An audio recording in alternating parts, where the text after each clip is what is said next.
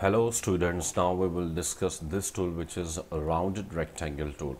The difference between rectangle tool and rounded rectangle tool only is this like we have some radius from all sides in the uh, in our shape. For example, if I create, so you can see we have a radius, a rounded uh, rectangle we have right now. So um, we can first we can fill uh, with same like color or gradient or with pattern we can fill this is the first thing we can do in, in, this shape.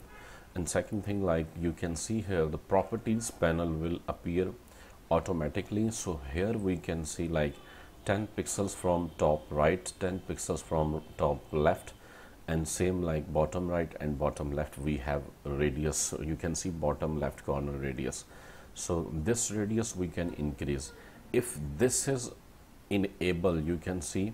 So link together corner radius values so what will happen if I change from one side? Like for example 100 pixels I apply and enter you can see it will affect or to the all sides. You can see in all sides has been changed and here you can see 100 pixels 100 pixels 100 pixels and 100 pixels.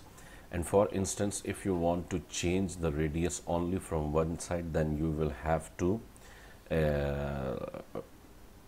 you will have to click here and now you can see like if I apply for example 200 pixels so it will affect only the top right.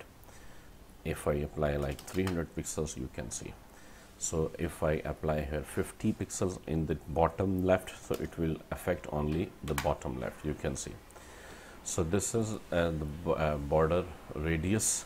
So this is the shape like we can create rounded uh, rectangle.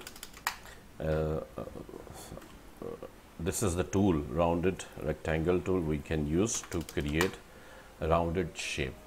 Thank you very much for watching this video and please subscribe my channel. If you have not subscribed yet please subscribe my channel and also like the video share the video with your friends. Thank you very much for watching the video